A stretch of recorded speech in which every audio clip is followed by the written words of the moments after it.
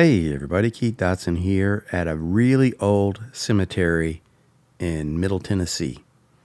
As you can see, it's a sunny, bright day with very harsh light, so I'm shooting handheld with my trusty Hasselblad 500CM because I like the way black and white film handles harsh contrast better than digital.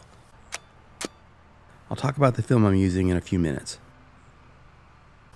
I'll be looking for textures and interesting compositions with the crumbling old headstones.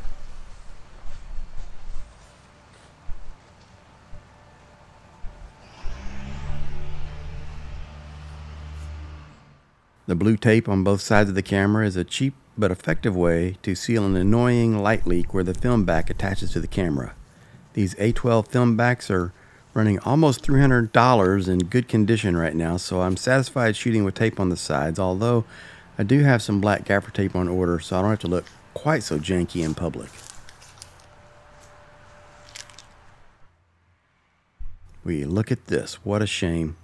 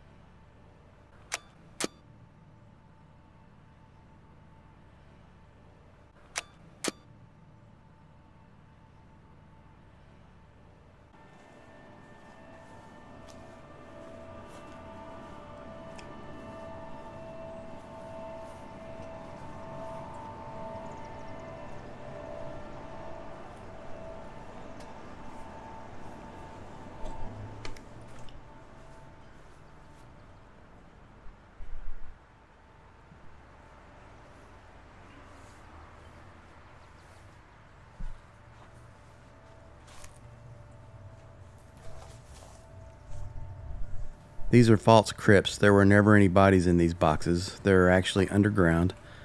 But there is a skeleton of some kind of unfortunate creature in there, though.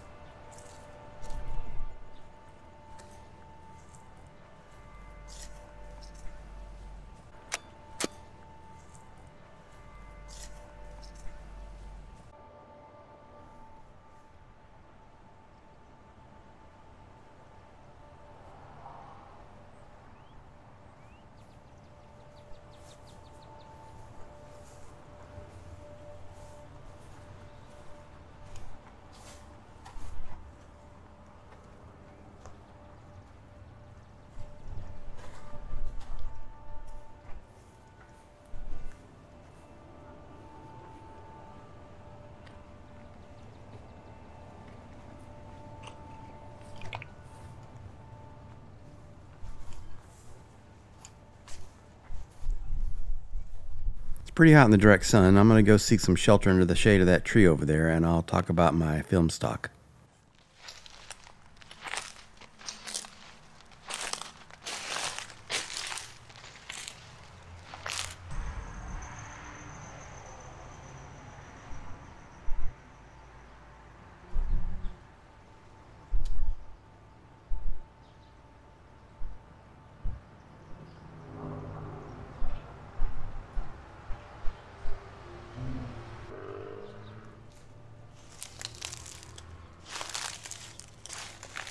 Why would they use such sharp finials in a cemetery?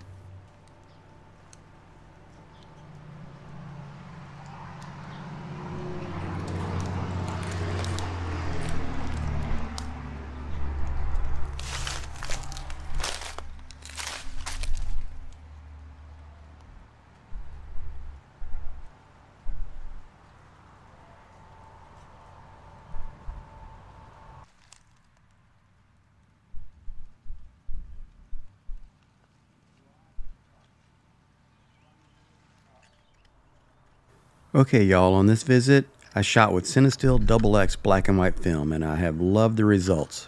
Right out of camera, it gives such gorgeous contrast, and I think it handled the bright sun and harsh shadows really well, and man, is it sharp.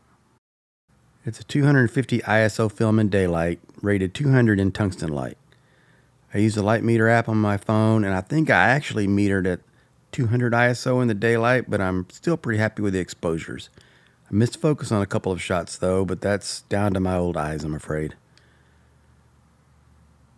Cinestill Double X is a repackaged version of Kodak motion picture film. It's the same black and white movie film that Kodak's been making since the 1950s, I think 1959.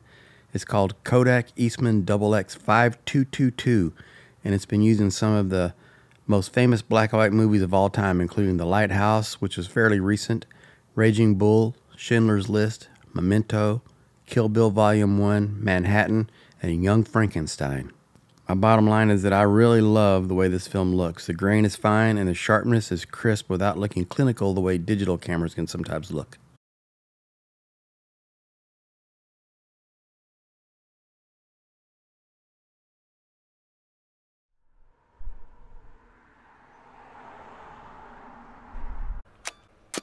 Before leaving, I walked into town to snag a shot of the vintage cinema marquee to finish up the roll. Well, I hope you enjoyed visiting this old cemetery and seeing the shots I got here today. Be sure to visit my website at keithdotson.com.